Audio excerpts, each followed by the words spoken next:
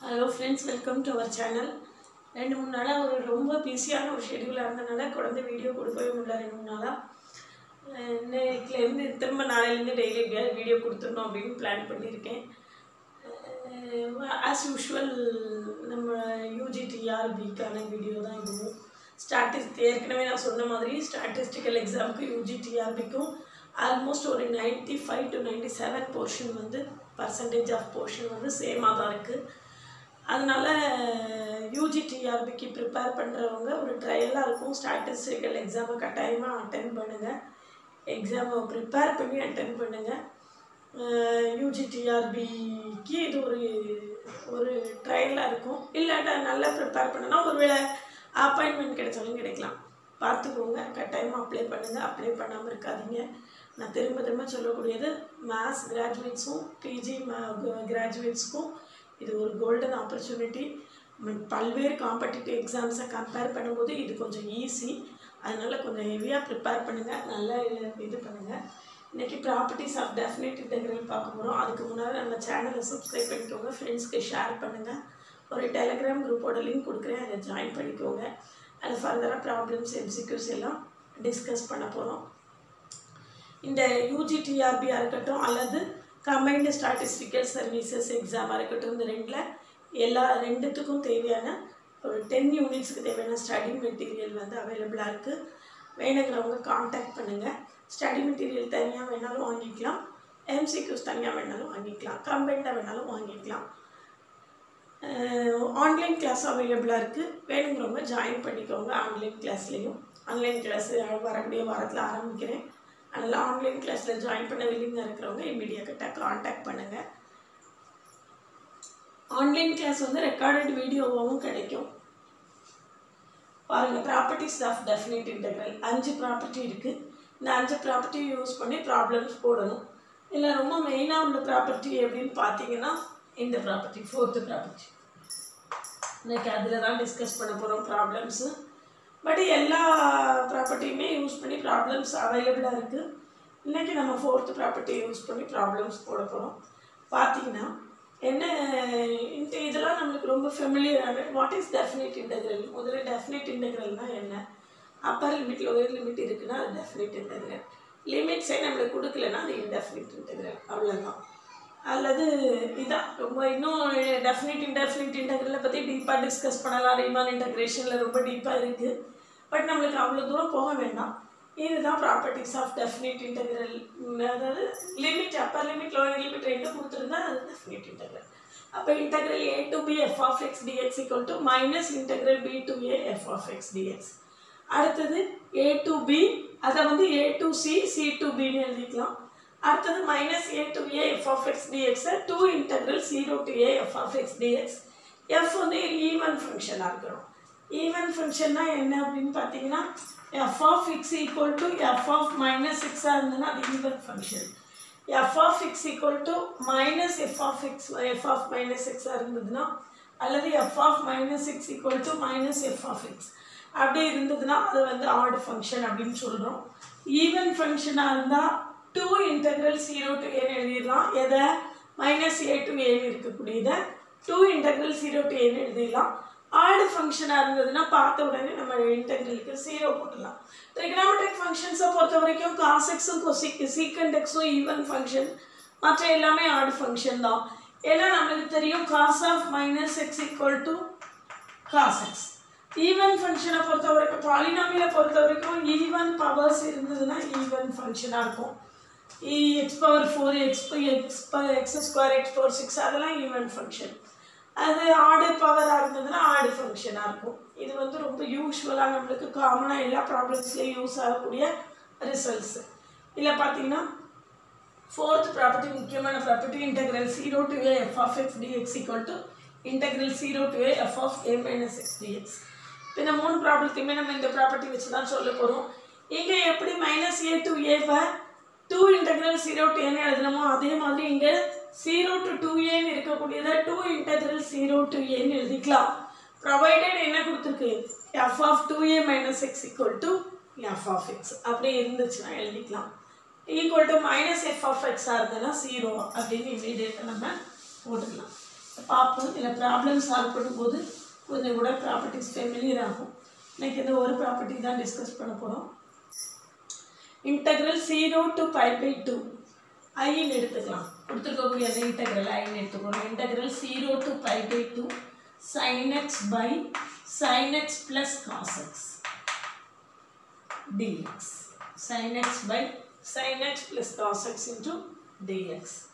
இதே இது f of a இல்ல அந்த இந்த ப்ராப்பர்ட்டி என்ன integral 0 to a f of x dx equal to integral 0 to a f of a minus x dx அப்போ நான் இதை எப்படி எழுதுப்பேன் 0 to pi by 2 ah equal to integral 0 to pi by 2 sin pi by 2 minus 6 by sin pi by 2 minus 6 plus cos pi by 2 minus 6 dx.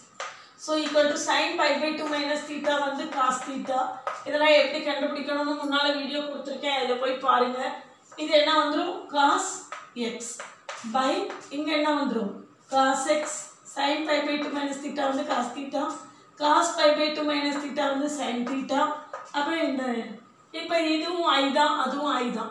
இப்போ இந்த ரெண்டையும் நம்ம integrate ரெண்டையும் ஆட் பண்ணுவோம் ரெண்டையும் ஆட் பண்ணுவோம் தேர்ஃபோர் இந்த ரெண்டு இன்டகிரலையும் நான் ஆட் பண்ண போகிறேன் அப்போ இடது பக்கம் டூ ஐன்னு வந்துடும் வலது பக்கம் என்ன வரும்னு பாருங்கள் limit zero to pi by two இங்கே சைன் எக்ஸ் இருக்குது இங்கே காஸ் எக்ஸ் இருக்குது டினாமினேட்டர் சேமாக தான் இருக்குது அப்போ sine x plus cos x by sine x plus cos x into dx NX plus cos x into dx சரிதானா?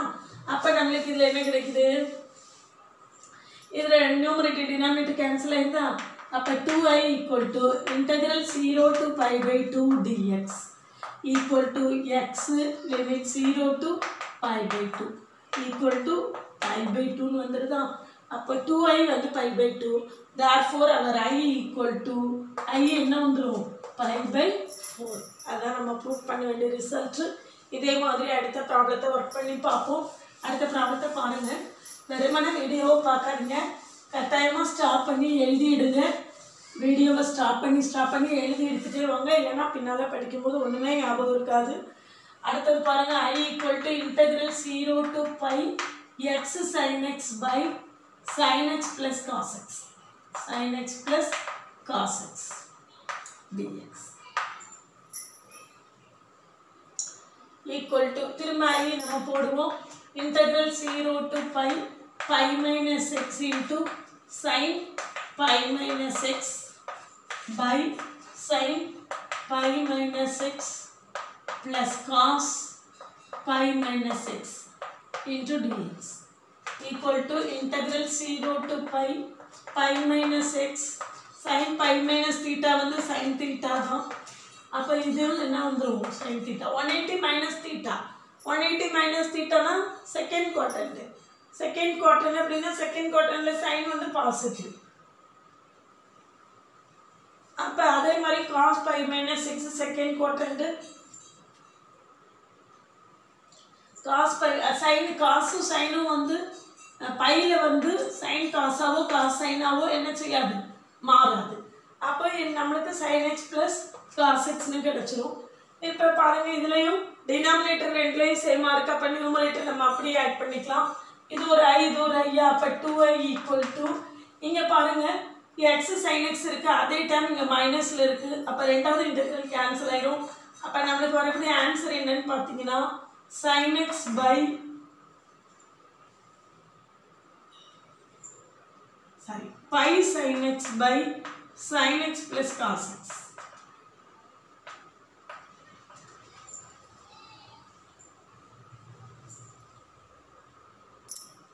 ப்ராப்ளத்தில் சின்ன கரெக்ஷன் எங்கேயோ ஓதைக்குதேன்னு பார்த்தேன் ப்ராப்ளத்தில் சின்ன கரெக்ஷன் இதில் வந்து ஒன் ப்ளஸ் காஸ் ஸ்கொயர் எக்ஸ்ன்னு இருக்குது ஏன்னா காஸ் ஃபைவ் மைனஸ் தீட்டா வந்து நம்மளுக்கு மைனஸ் காஸ் தீட்டான்னு வந்திருக்கணும் இப்போ டினாமீட்டர் போன ப்ராப்ளத்தையும் இந்த ப்ராப்ளத்தையும் பார்த்து தப்பாக எழுதிக்குவான்னு போல இருக்கு one plus cos square x இப்போ one plus cos square five minus x அப்படிங்கும்போது cos of pi minus x minus cos எக்ஸாக இருந்தால் கூட ஸ்கொயர் பண்ணும்போது நம்மளுக்கு என்ன வந்துடும் அதே டேர்ம் வந்துடும் டினாமினேட்டரில் மட்டும்தான் சேஞ்சு அப்போ இப்போ டினாமினேட்டர் சேஞ்ச் கரெக்டாக இருக்குது அப்போ நம்மளுக்கு என்ன வந்துடுது காஸ் ஸ்கொயர் எக்ஸ் அப்படின்னு. Two integral zero to pi pi sin x by one plus cos square x அதாவது இதில் பார்த்தீங்கன்னா சைன் பை மைனஸ் தீட்டா வந்து sin theta cos pi minus theta வந்து மைனஸ் காஸ் தீட்டான்னு வரும். ஸ்கொயர் இருக்கிறதுனால மைனஸ் ப்ளஸ்ஸாக மாறி இருக்குது சரிதான்? அதில் ஒரு சின்ன டவுட் இருந்ததுனால தான் ப்ராப்ளத்தை பார்த்தேன். ப்ராப்ளம் புக்கை பார்த்து தப்பாக எழுதியிருந்திருக்கேன். ஒன் ப்ளஸ் காஸ் எக்ஸ் அது மட்டும் கரெக்ட் பண்ணிக்கோங்க. அப்போ integral zero to pi pi sin x by one plus cos x அப்படின்னு நம்மளுக்கு கிடச்சிருக்கு. இப்போ வந்து நம்ம என்ன செய்கிறது எப்படி வந்து இதை இன்டகிரேட் பண்ணுறது put cos thetas equal to y t put cos theta equal to cos x equal to t put cos x equal to t So, minus sin x dx. sin x dx equal to நம்மளுக்கு என்ன வந்துடும் dt வந்துடும் minus sin x dx equal to dt.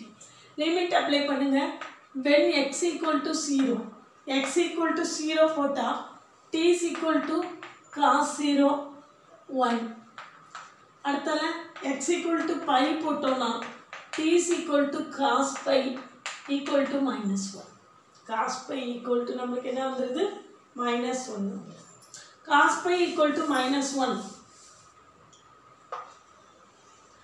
இதில் வந்து நான் திரும்பியும் competitive எக்ஸாமில் நான் சொல்லும்போது அதுதான் சொல்லுவேன். ரொம்ப பெரிய லெங்க்தியாக உள்ள ப்ராப்ளம்ஸ்லாம் கேட்க மாட்டாங்க. ஆனால் இந்த மாதிரி இன்டகிரேஷன்லேயும் கேட்டால் வேறு ப்ராப்ளம்ஸ் இருக்காது.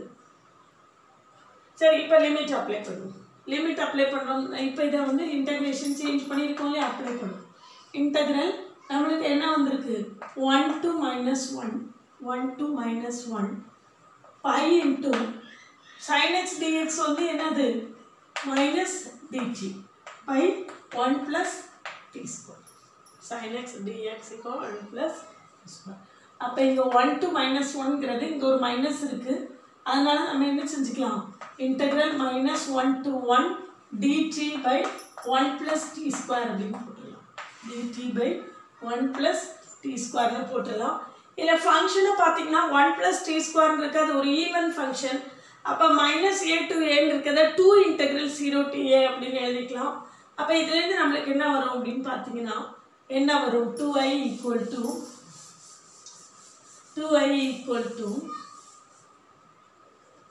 2i equal to 2 integral 0 to 1 dt by 1 plus t square equal to 2 ரெண்டு பக்கமும் 2 cancel ஆயிடும் so i equal to tan inverse of t tan inverse of t limit 0 to 1 அப்போ tan inverse of 1 minus tan inverse of 0 equal to நம்மளுக்கு என்ன வந்துடுது 5 by 4 i equal to என்னது 5 by 4 அந்த இன்டகிரலோட value வந்து 5 by 4 அப்படின்னு நம்மளுக்கு கிடைச்சிரும் ஆனால் இதெல்லாம் ரொம்ப ப்ராக்டிஸ் பண்ணிங்கன்னா ஒன் ஆர் டூ மினிட்ஸில் போட்டு முடிக்கக்கூடிய ப்ராப்ளம்ஸ் தான். இப்போ அடுத்த ப்ராப்ளம் பார்ப்போம். இதில் ரெண்டு ப்ராப்பர்ட்டி யூஸ் பண்ணியிருக்கோம். ஃபோர்த்து ப்ராப்பர்ட்டியும் தேர்டு ப்ராப்பர்ட்டியும் நினைக்கிறேன். கடைசி ப்ராப்ளம் பார்க்கலாம். Integral zero to pi by four log one plus tan theta d theta இதோட வேல்யூ என்ன வருதுன்னு இப்போ பார்க்கலாம்.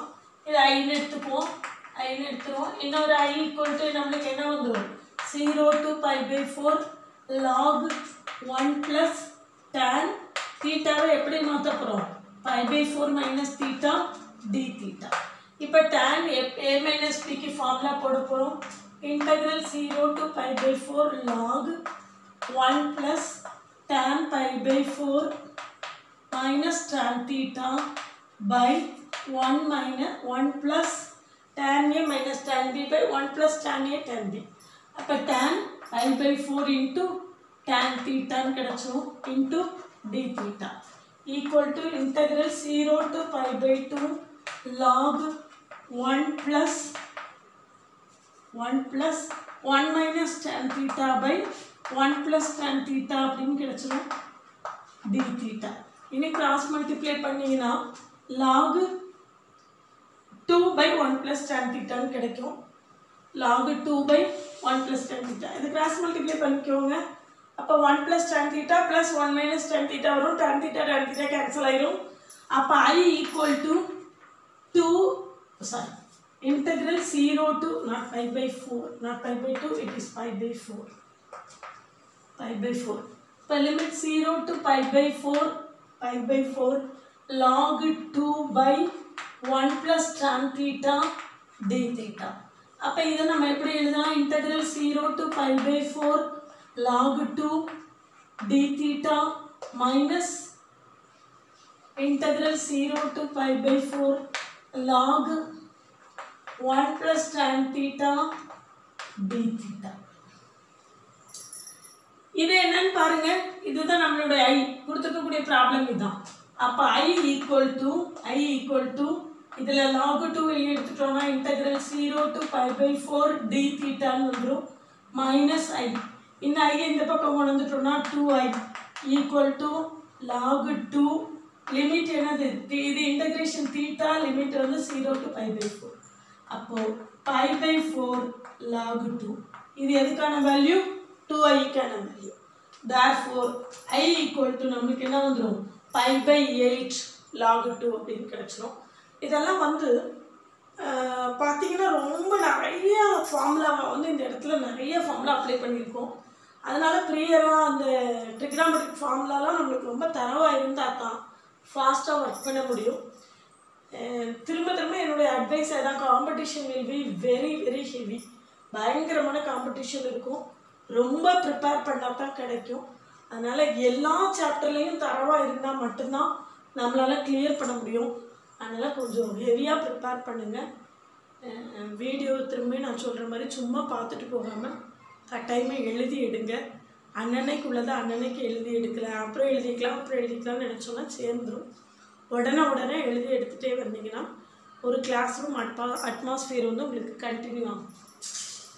வேறு என்ன கிளாரிஃபிகேஷன்ஸ் இருந்தாலும் கேட்டுக்கோங்க. ஸ்டடி மெட்டீரியல் எம்சிக்யூஸ் வேணும்னா காண்டாக்ட் பண்ணுங்கள் டெலகிராம் குரூப்பில் ஆட் ஆகிக்கோங்க ஃபர்தராக கிளாரிஃபிகேஷன்ஸ்க்கு காண்டாக்ட் பண்ணுங்கள் கட்டாயமாக யூஜி டிஆர்பி ப்ரிப்பேர் பண்ணுறவங்க அத்தனை பேரும் ஸ்டாட்டிஸ்டிக்கல் எக்ஸாம் அப்ளை பண்ணாமல் இருக்காதிங்க. கட்டாயமாக அப்ளை பண்ணுங்கள் இது ஒரு சான்ஸு இல்லை கிடைச்சாலும் நல்லது கிடைக்காட்டால் ரொம்ப நல்லது அப்படிங்கிற மனநிலையில் அட்டன் பண்ணுங்கள் ஒரு நல்ல ஆப்பர்ச்சுனிட்டியாக இருக்கும்.